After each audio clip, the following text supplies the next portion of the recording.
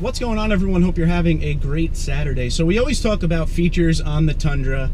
Uh, doesn't matter which trim level you have. We always talk about features on the Tundra that we like and we dislike, and we've gone into detail about some of the stuff we would like to see on the next generation and everything like that. And I was pleasantly surprised when I got into the Platinum Tundra because there were some things on the Platinum that I wasn't expecting uh, that I turned out to really like. For instance, um, you have the auto dimming mirror which comes on other models. It's not just the uh, the Platinum, but the Platinum comes with auto dimming side view mirrors, which is huge. Um, it has LED turn signals in each mirror, which is also um, awesome, especially for the cars next to you. They know when you're trying to get over. It is a big vehicle. There are some blind spots and everything like that. So there are a lot of features that are in this truck that I absolutely love. But when it comes to Tundras in general, not just this Tundra, the Platinum, um, but you know, SR all the way up to 1794, TRD Pro, Platinum, everything like that. There is one feature that they really need to work on, whether it be the next generation or the next model year, and that is the backup camera. It's not the best backup camera in the world. It does the job, and after you've had the truck for a while, you definitely get used to it. But there is one specific thing that I cannot get used to, and I know you guys will agree with me. I don't know how, how much I could show you right now because the sun isn't exactly where it needs to be to show you, but it's the glare, so check this out. All right, so the sun is directly above us right now, so you actually have a pretty decent shot of the screen. I don't know how it'll come out on camera, but I could see it clearly.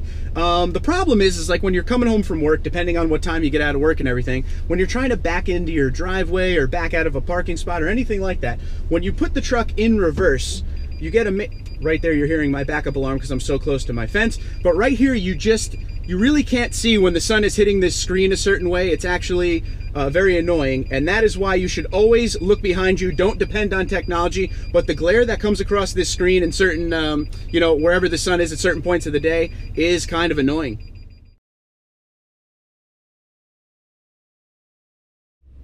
Now there actually is a reason I made the video on the glare today versus other days. I actually had an incident yesterday uh, where I almost ended up hitting my garbage can. So it was garbage day yesterday. It looked like one of my neighbors, I'm guessing, maybe the mailman, I don't know, pulled the garbage can into my driveway, up my driveway, but left it in the middle.